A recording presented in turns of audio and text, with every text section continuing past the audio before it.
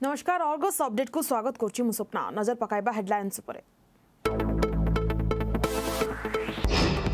ସୁବର୍ଣ୍ଣପୁର ବିନିକା ଅଞ୍ଚଳରେ ଥମୁନି ହାତୀ ଉତ୍ପାତ ବ୍ୟାପକ ଫସଲ ଓ ପନିପରିବା ନଷ୍ଟ କରୁଛନ୍ତି ତିରିଶ ଟିକିଆ ହାତୀ ପଲ ଭୟରେ ସ୍ଥାନୀୟ ଅଞ୍ଚଳବାସୀ ହାତୀକୁ ଘଉଡ଼ାଇବାରେ ବିଫଳ ବନ ବିଭାଗ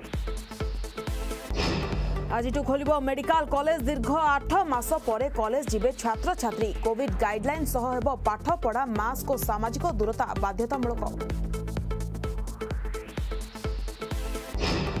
ଆଜି ବିଶ୍ୱ ଏଡ୍ସ ଦିବସ। ଏଡ୍ସ ରୋଗୀ ସଂଖ୍ୟାରେ ବିଶ୍ୱରେ ଭାରତ ତୃତୀୟ ସ୍ଥାନରେ ଓଡ଼ିଶାରେ ଦୁଇ ହଜାର ସତର ଦୁଇ ହଜାର ଉଣେଇଶ ମଧ୍ୟରେ ଅଠର ଦଶମିକ ସାତ ପ୍ରତିଶତ ରୋଗୀ ସଂଖ୍ୟା ବୃଦ୍ଧି।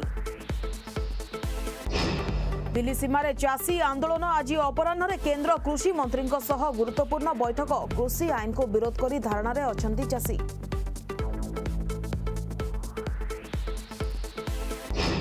ଆଜିଠାରୁ ସ୍ୱାଭାବିକ ଭାବେ ଟ୍ୱିନ୍ ସିଟିରେ ଗଡ଼ିବ ମୋ ବସ୍ ବାଇଶଟି ରୁଟ୍ରେ ସେବା ଯୋଗାଇବ ଶହେ ଚଉରାଳିଶଟି ମୋ ବସ୍ କେବଳ ଅଣତିରିଶ ନମ୍ବର ରୁଟ୍ ଛାଡ଼ି ଅନ୍ୟ ସମସ୍ତ ରୁଟ୍ରେ ଚାଲିବ ବସ୍।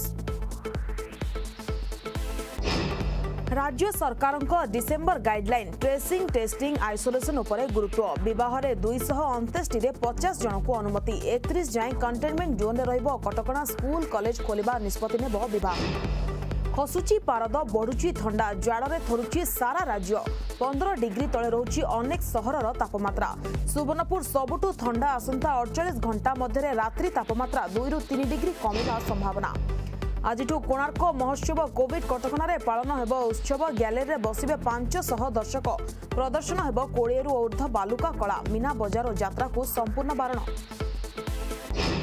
ଏବଂ ସରିଲା ଧର୍ମ ମାସ କାର୍ତ୍ତିକ ଆଜି ଛାଡ଼ଖାଇ ପାଳନ କରିବେ ଲୋକେ ମାସକର ବ୍ରତ ପରେ ପାଟିରେ ବାଜିବ ଆମିଷ କାଲି ବୁଧବାର ନନଭେଜ ମାର୍କେଟରେ ଜମିବ ଅଧିକ ଭିଡ଼